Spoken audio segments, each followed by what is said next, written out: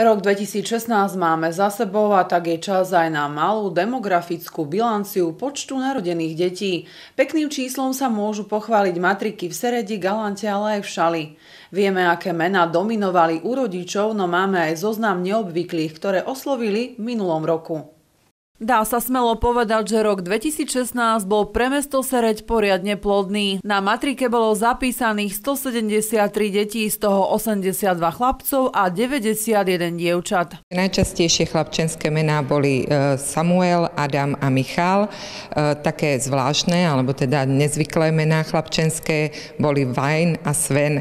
Čo sa týka dievčat, tak tu dominovali najčastejšie mená ako Sára, Eliška a Tereza, no v niektorých prípadoch rodičia zalovili aj v zahraničných kalendároch, i keď nešlo o žiadny extrém. Neobvyklé mená dievčenské boli Ruth, Charlotta, Jasmína, Mia. V Galante pribudlo za minulý rok 120 detí, narodilo sa 55 dievčat a 65 chlapcov. V rebríčku najžiadanejších mien viedla Sofia, Viktória Natália, u chlapcov to bol Adam, Patrik a Alex. Oproti Seredi tam pribudli aj mená, ktoré v našom kalendári nenájdete ako Kendra, Adme, Shanaja a u chlapcov to bol Henning, Aiden či Wayne. No a pekným prírazkom za rok 2016 sa môže pochváliť aj mesto Šala. Narodilo sa tu viac ako 180 detí z toho 95 chlapcov a 91 dievčat. Matrikárky zapísali do evidencie niekoľko mien, pričom najväčšiu popularitu si u rodičov v šali získali následovné. U tých chlapcoch to boli napríklad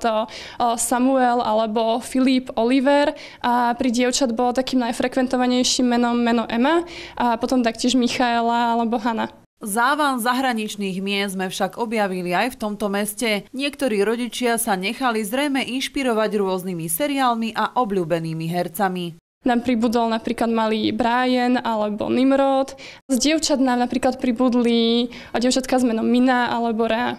Pre televíziu kreja Stanislava Janegová.